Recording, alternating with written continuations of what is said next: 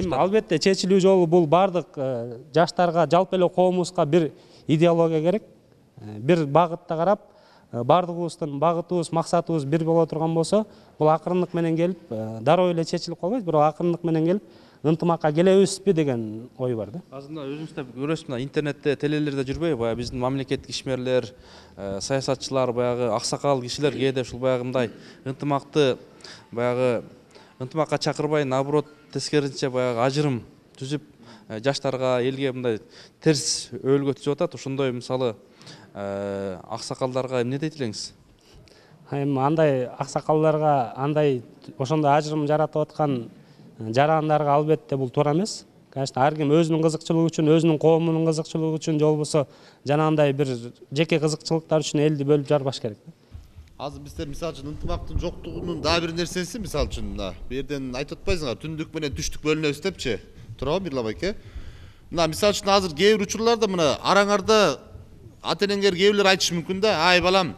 сен деген таластан болосуң же көлдөн болосуң оштон алба аяк алыс аяктын салты башка депчи мисалы үчүнчү аны бөлөт туурабы сен айтат тиги оштогулар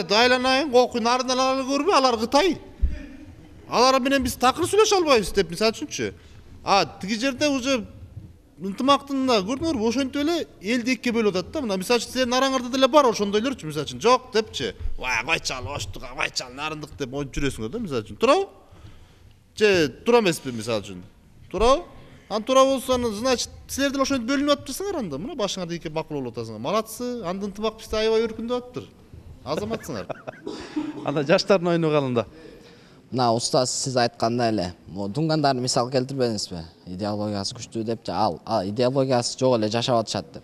Алардын жашынан алардын ата энеси мындай тарбиялайт да дин жаатында көбүрөөк сабаттуу сабаттуу болушат алар бизге караганда алардын мен мисалга алсам бир дунган досторум бар алар эки жашынан дин жагынан окуп уже жетишкен да бизге чейин эле ал азыркы учурда мындай арабча грамматиканы же арабча бир нерсени куранды которуп мындай маанилерин биле алышат да алар мындай дин жагынан сабаттуураак демек динда таасир берет экен да ушул жаштар кандай? Ушул ойго сенин атың ким?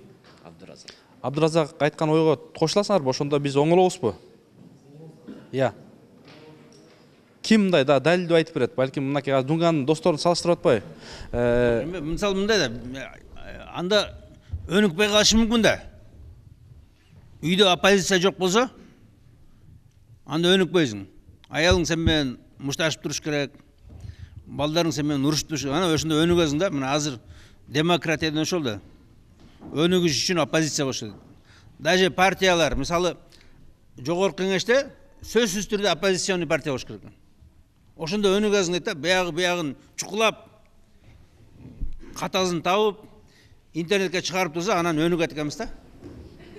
Ушул ой туурабы урматтуу жаштар? Оппозициясы жок деле өнүксөк болобу? Ошондо ынтымак жакшыраак болобу балким? Ушул абдыразак айтып кеткендей эле эме дин жактан оңолсок болот деген бул туура. Себеби дин жактан ата энелерибиз жакшы жеткиликтүү кылып жана жакшы тарбиялап эме кылып баардык нерселерди түшүндүрүп эме кылсак өнүгөбүз. Ата энебизди сыйлайбыз бири бирибизди сыйлап ошондо бири бирибизге сый урмат пайда болуп ошондо өнүгөбүз. Мен ушул оюну туура деп эме кылам да. Менин оюм ушундай. Рахмат рахмат. Келгиле жаштар эми буюрса убактыбыз азайып баратат э? Ошондуктан бул тараптан барбы кыздар? Кел.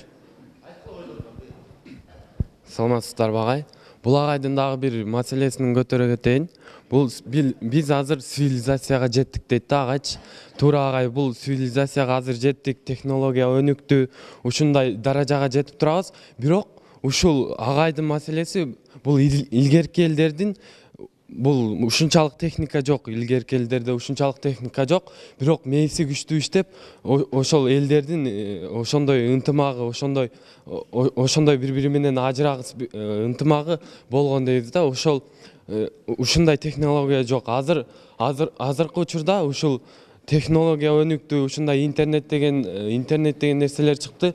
Ошонун таасиринен да балдар жана жаштарыбыз мындай бузулуп баратат деген ойда. Илгерки мисалы сен сиз азыр мен өзүм баткенден болом.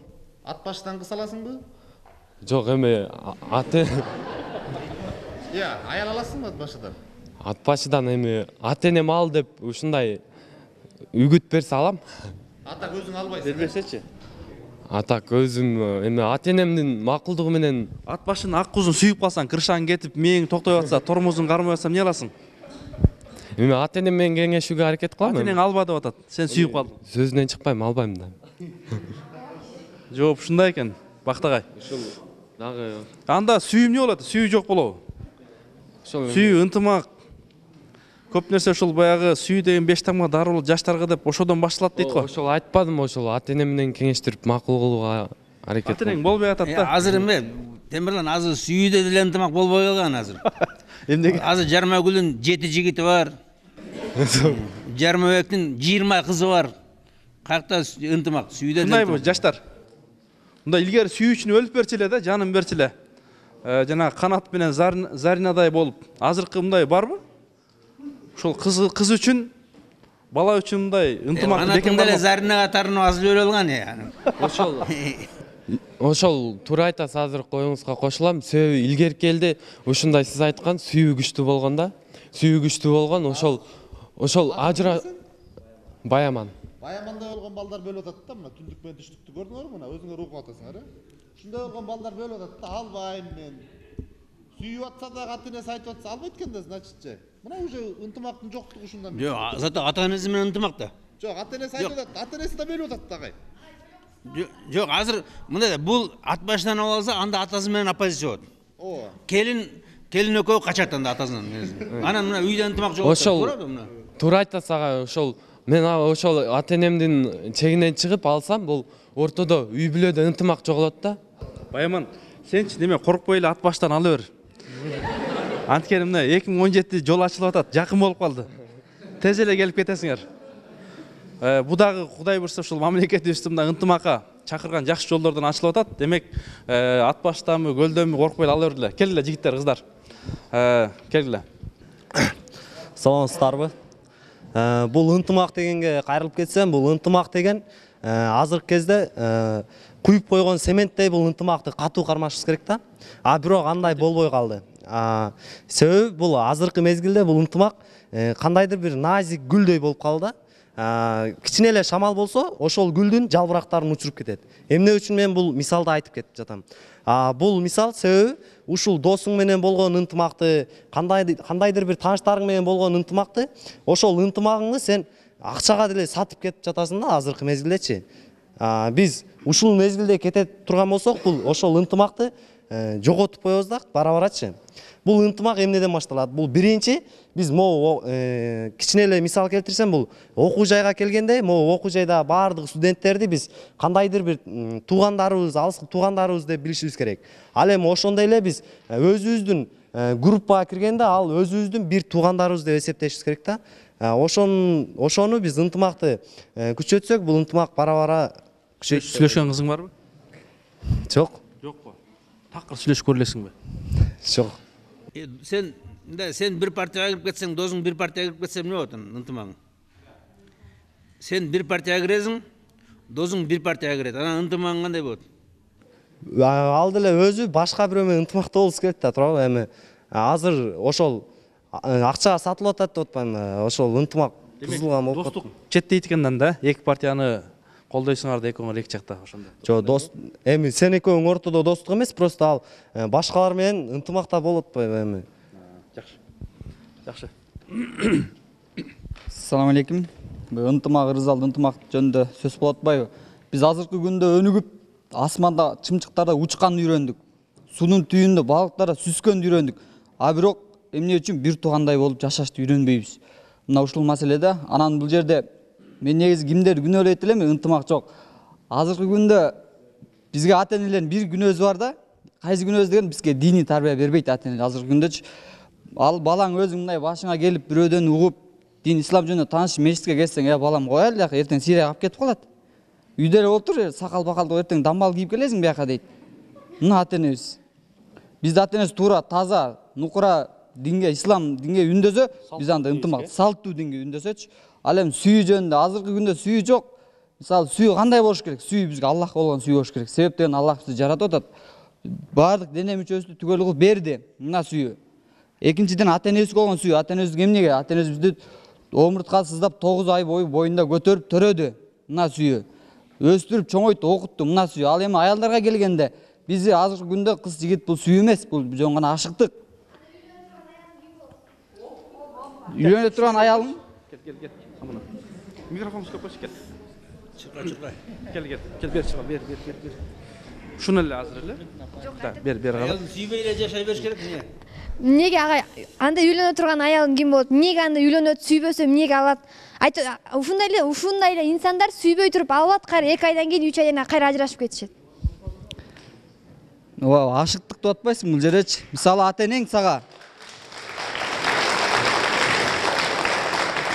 ашыктык ортодо мындай ашыктык бар сүйүү болбосо да ашыктык бар. Мисалы сен айтасың ата энеме ата энеңе ата энең үйлөн дейт тура э балам чоңойдуң үйлөн эми жүрө бербей мындай мисалы азыр балдар жыйырма бештен өткөндө үйлөнгүсү келбей калат силер аллах айтып атат силер үйлөнгүлө никеңерди мен өзүм байытып өзүңөр сүйүүңөр ортоңор сүйүү орундотом дейт жубайды сүйүш керек эмне үчүн сен тогуз ай мындай үч үч түн уктап түшүнө кирбеген балага сага келип атат кызчы сага турмушка чыгып атат сен сүйлөшкөн кызың барбы сүйлөшкөн кызым жок мен азыр качан сүйлөшөсүң качан сүйлөшөм эми билбейм кудай буюрса сүйлөшөбүз да үйлөнөргө жакын эки ай калганда жок үйлөнүүгө жакын эки жок мен мисалы мен азыр мындай динге толук кире элекмин бирок киргенге аракет кылып намаз окуйм просто мындай бир эки жолу көрөсүң жактың уже сен адам кандай болсо сага ошондой кыз туура келет да ал мисалы биз хиджаб жабынган намаз окуган кызга жолук алты бир тууганбыз биз алтыбыз тең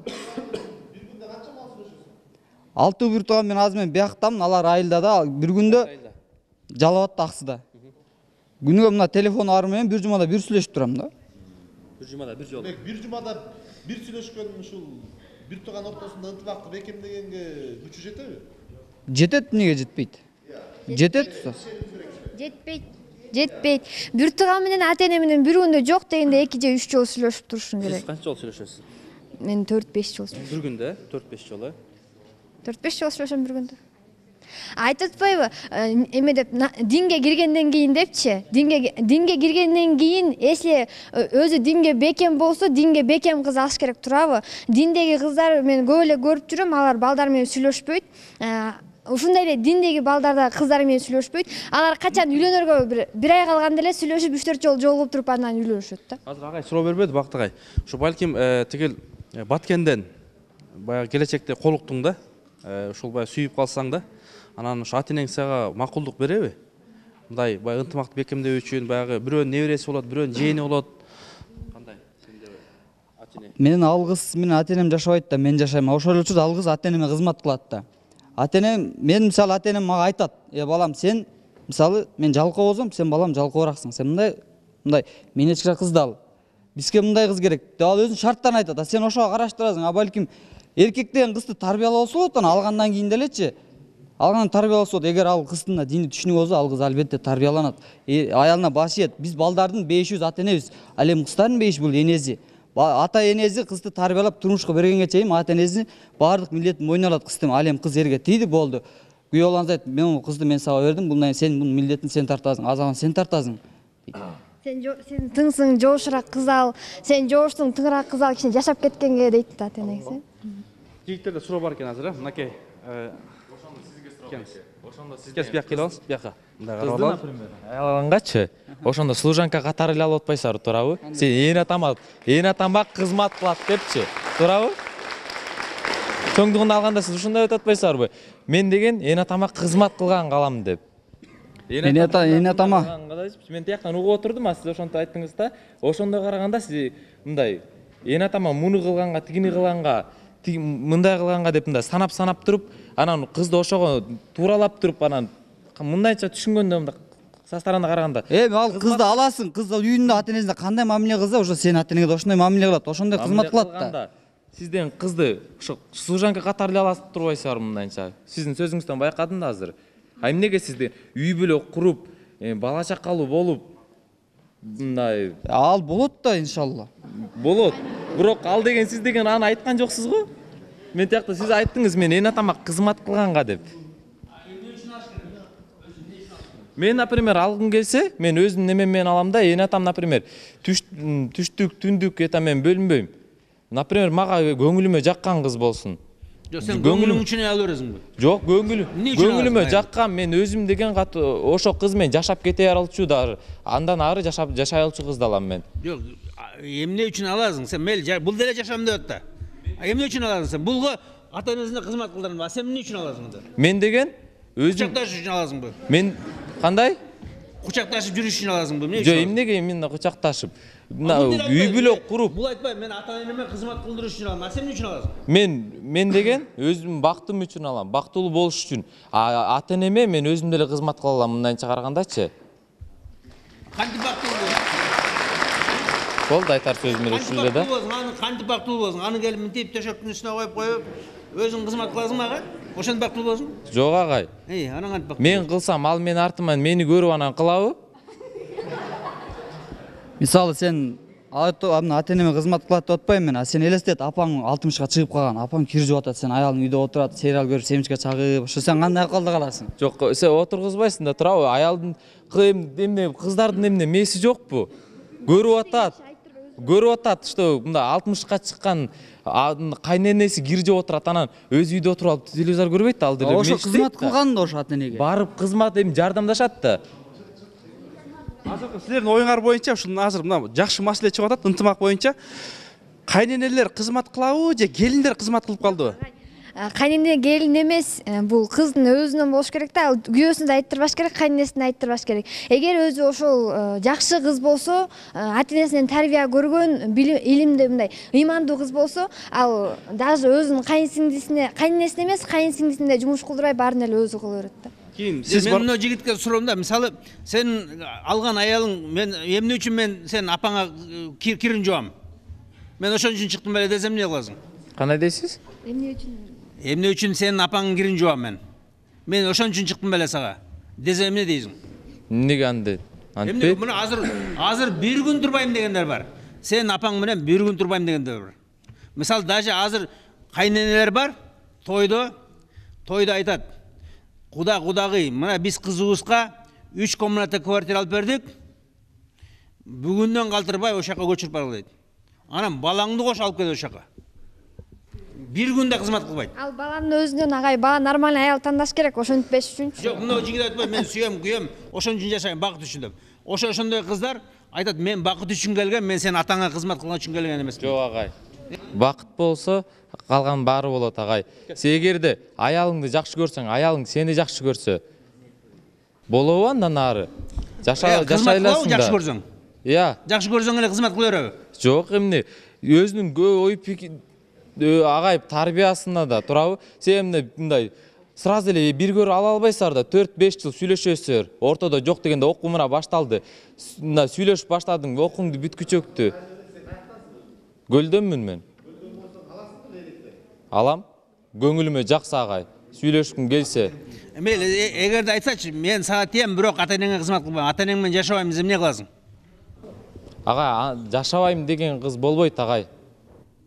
Жок сенин бактыңды ачам дейт мен сени бактылуу кылам бирок ата энең менен жашабайм дейт агай андай кыз көрө элекмин жакшы э, рахмат рахмат бакыт агай сизге суроо да там байаманда ат башыдан кыз аласызбы дегениңизге анан сиз ата энеңиздин каалоосу менен үйлөндүңүз беле же сиз өзүңүздүн каалооңуз менен үйлөндүңүз беле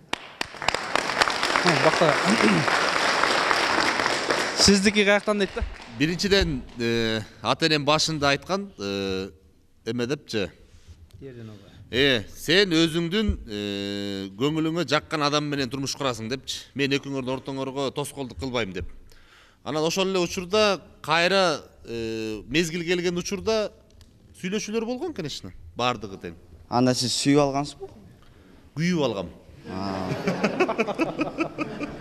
сүйүп да күйүп дагы сизчи аба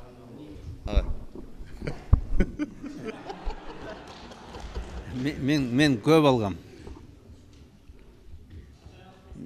бирөөнүн ата энем алып берген калганын өзүм алгам баракелде азамат. Агай жашоо биринчиден а, баардык эле жашоо малина боло бербейт да үйлөнгөндөн кийинчи анан ар бир үй бүлөдө казан аяк кагышат биринчиден анан ага деле сабырдуулук менен караш керек биринчиден бирок баардыгына эле сабырдуулук менен карай бербейсиң жиниң келет урушат анан баары бир жарашат да ар бир үй бүлө туурабы ошол анча мынча урушса болот э? Ооба урушса болот жакшы азамат. Силер айтып атасыңар илгери биз ата энебиз айткан кызды алчубуз сөзүнөн чыкпачубуз деп. Азыр силер болсо кызды түштүктөн албай түндүктөн ал деп айтып атсаңыз биз эмне кылабыз ошондо? Мен көлдөн эле ал десем ошого макул болосуңбу сен? Биринчи. Макул болот? Иә. А мен көлдөн эле ал сен көлдүксүң А, жок, макул болбойм. макул болосуңбу жок. Иә. а силер айтып атпайсыңар ата энеңердин оюна макул болгула кайсы ай- кызды айтса ошону алгыла деп. Эми ар бир ата эне ынтымактын жоктугу- жаман болду дебейт да. Туурабы мен мен мен мисалы айтып атам ата энеңердин айтканы менен болгула анткени үйдө ынтымак ошондой болот эгерде антпесе сенин келиниңди кубалай берет жактырбай кое берет акыры келиниң качып кетет анан кийин сен да качып кетесиң оппозиция чыгат дагы да ооба рахмат.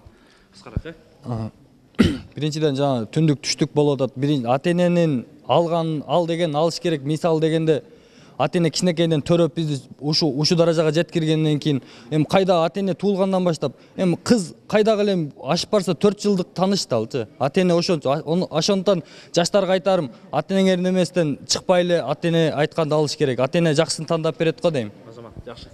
Ошо бул жерде биз азыр негизи теме тема ырыс алды ынтымак болуп атпайбы?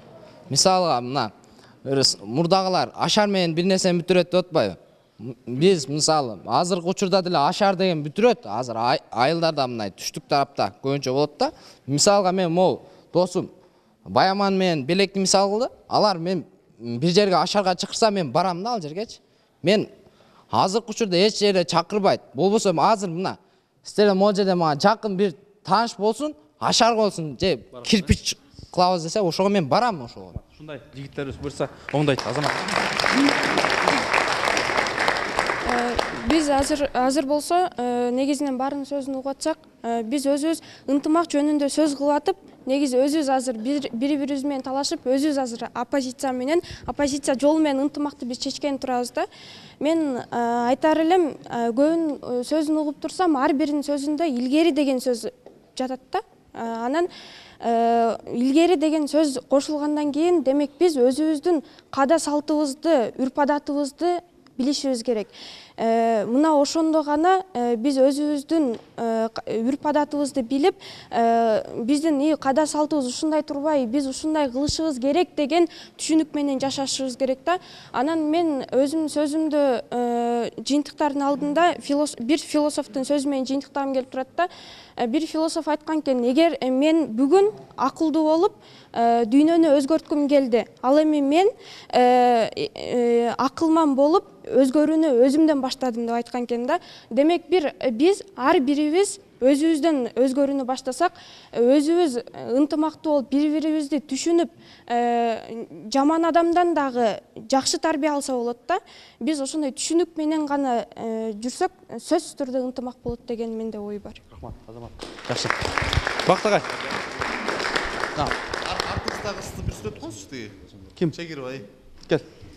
Айт бол оюңду кыска кыска он секунд тиги мына силер айтып атпайсыңарбы мисалы эки жаш сүйүшүп үйлөнүшөт анан эки айдан кийин ажырашып кетет депчи. Мунун себеби менин оюмча булар эме болуп атат да сүйүшөт бирок баягы баш кошкондо буларда эми баягы үй бүлөдө ар кандай башында кыйынчылыктар болот да анан ошол кыйынчылыктардан булар өтө алышпай э, өтө алышпай мындай чыдамкайлык жок да анан ошон үчүн ажырашып кетет болуш керек деп менин оюм бар да. Ошондой ойбу э сиздин сүйлөшкөнүңүз барбы? Жок. Жок э? Жок. Буюрса ошол сабырдуулук э, сизге да. Сабырдуулук болуш керек да ошо анткени ооба чыдаш кичине чыдап коюш керек анткени чыдап койсоң ошол оор убакыт деле өтөт да оор учурлар өтөт да анан эми баары жакшы болуп кетет да. А просто азыр жаштар деген ошол чыдабай атабы? Ошо чыдабайт да эми чыдабайт анан ошон үчүн ажырашып кетишет да. Мен ушул бүгүнкү тема абдан жакшы тема да себеп дегенде ырыстын алдында эмне турат деген суроо болуп атат да.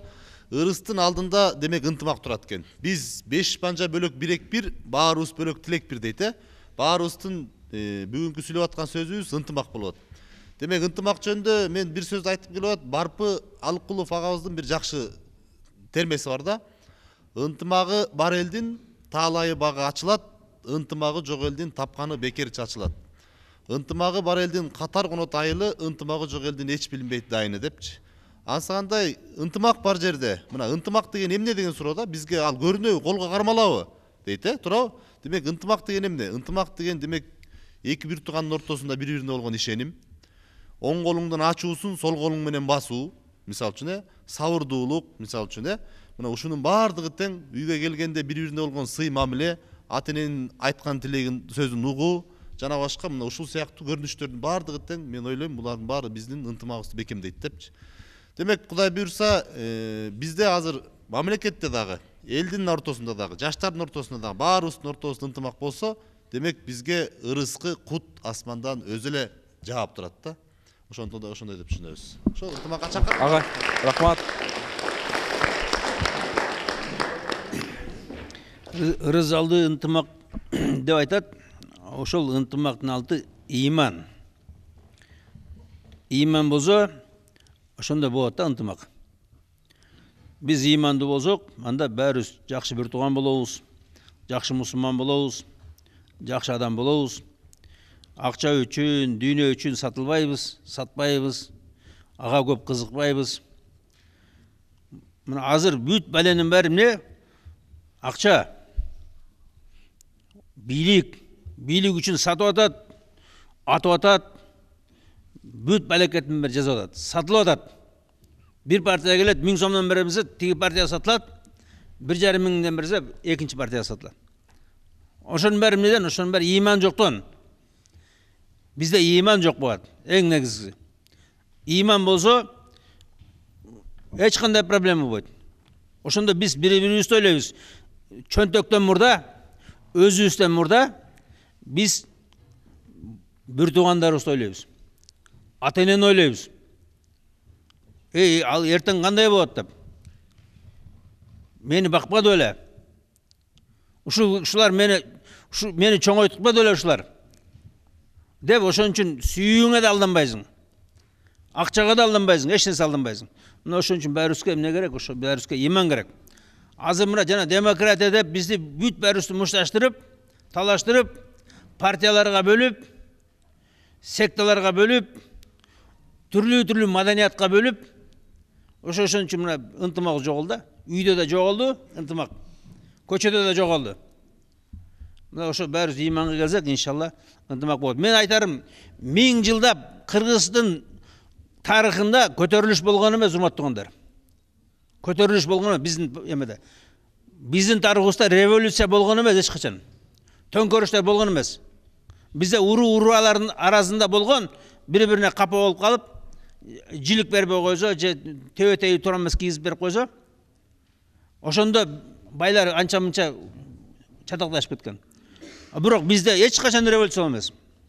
Мисалы мына россиянын тарыхында миң көтөрүлүш болуптур миң. Дыйкандардын миң көтөрүлүшү бизде бир да көтөрүлүш болгон эмес. Бир да революция болгон эмес. Баары бир туугандай болгон бай кедей бир туугандай жашаган. Чоң рахмат. Мына урматтуу теле көрүүчүлөр бизге бөлүнгөн убакыт аягына келип жаштардын оюнан коноктордун оюнан жакшы чечимдер чыгарып алат деген ойдобуз. Ушул эл үчүн мекен үчүн кызмат кылган биздин аталардан агалардан кудай буюрса биздин жаштар келечек муун үлгү алат. Ошондой болсо дагы элди экиге бөлгөн бөлүп жарган биздин чоңдорубуз чиновниктер жок болсун деп тилек кылабыз. Ушул кыргызга өзүнүн даанышмандуулугу менен акыл насааты менен айткан аксакалдарыбыз көп болсун деп тилейбиз элди экиге бөлгөн аксакалдарыбыз жок болсун деп кудайдан тилек кылып эл аралык башкаруу укук каржы жана бизнес академиясынын жаштары сиздерге сүйлөп беришти ынтымак менен бир болсок ырыс кешик кут конот пейилди кенен кармасак ыймандуу заман туш болот деп айткандай урматтуу теле көрүүчүлөр биздин жаштарыбыз келечекте ушулар коомду өлкөнү оңдойт деген ойдобуз. Кийинки ободон амандашканча саламатта калыңыздар